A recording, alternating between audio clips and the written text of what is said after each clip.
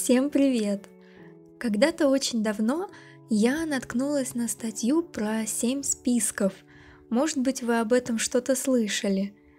Она была о том, что существует 7 полезных списков, которые могут сделать нашу жизнь лучше и приятней, помогут внутреннему развитию и гармонии.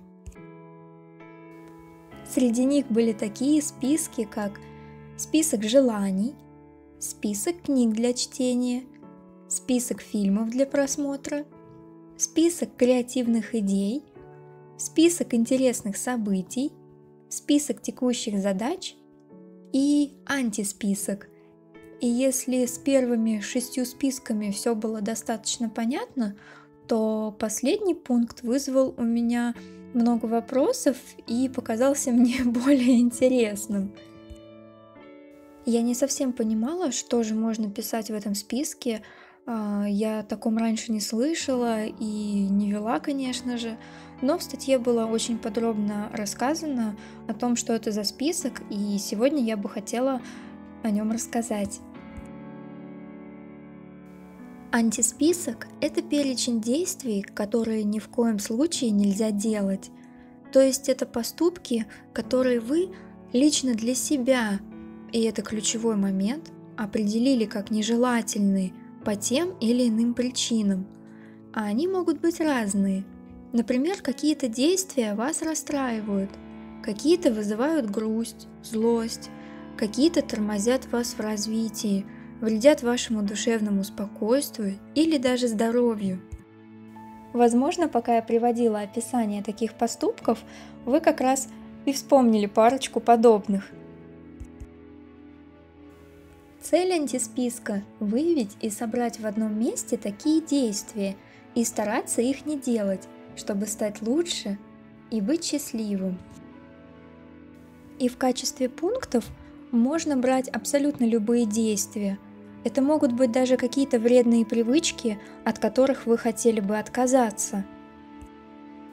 Когда мы решаем что-то не делать или отказаться от какой-то вредной привычки – это не всегда бывает так просто, как нам кажется. Например, в первый день, когда мы полны воодушевлением и энергией.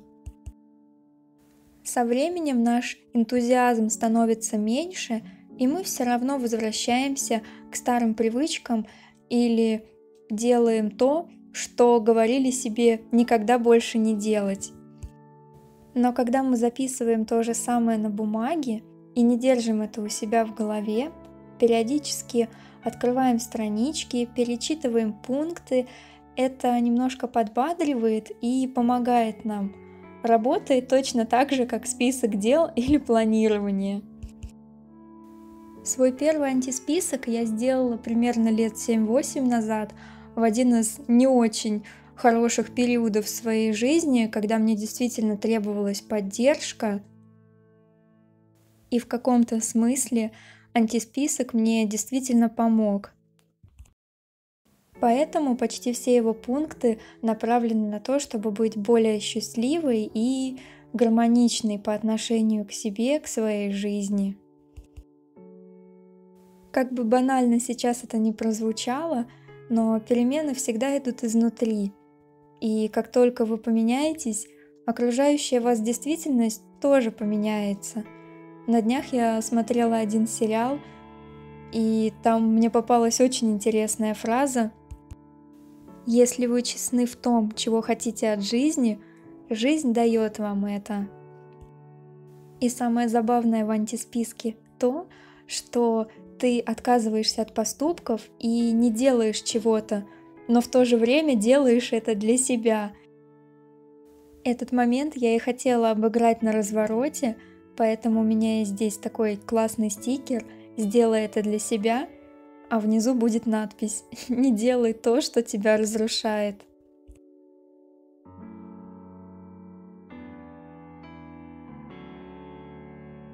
А теперь вернемся к самому антисписку.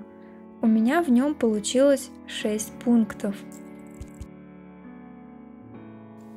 Первый пункт у меня звучит как не испытывай никому ненависти. Ненависть – это очень сильное чувство. И как нам иногда показывают в книгах и фильмах, она может сделать человека сильнее, но на самом деле это не так. Она разрушает не того человека, на которого направлена, а того человека, который ее испытывает. Она не несет в себе ничего хорошего, и сильнее она вас тоже не сделает. Поэтому, если вы по какой-то причине очень-очень-очень сильно разозлились на человека, или он вас очень-очень-очень сильно обидел, просто отпустите его. Возможно, это звучит проще сказать, чем сделать, но поверьте, в первую очередь вы делаете это для себя. Второй пункт – это никогда не сомневайся в себе, в своей красоте и в своих способностях. Поверьте, в своей жизни вы встретите много людей, которые будут принижать вас, ваши достоинства, ваши таланты, но вы ни в коем случае не должны их слушать. Ваша вера в себя должна быть непоколебима. Цените себя, цените то, что вы делаете и то, кем вы являетесь. Первый человек, который должен вас поверить, это вы сами. Даже если все вокруг по каким-либо причинам будут убеждать вас, что это не так.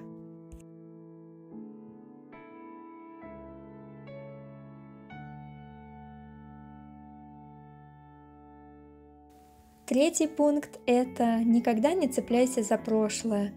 Что бы ни происходило, это уже в прошлом. И только мысли о будущем и жизнь в настоящем помогают нам двигаться вперед, развиваться и становиться лучше. Четвертый пункт – это никогда не держись за людей, которые не ценят вас или даже причиняют боль. Я знаю, что бывает сложно отказаться от общения, особенно если это дорогой и близкий человек, но когда вы чувствуете, что от этого общения вы получаете больше негатива, иногда имеет смысл от него отказаться.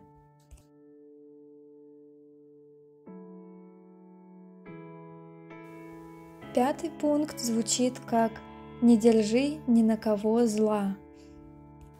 Так же, как и ненависть, злость очень сильное чувство, и оно только отравляет нас изнутри, разрушает и совершенно точно не несет для нас никакой пользы. И последний шестой пункт – это никогда не давай советов, если тебя о них не просили.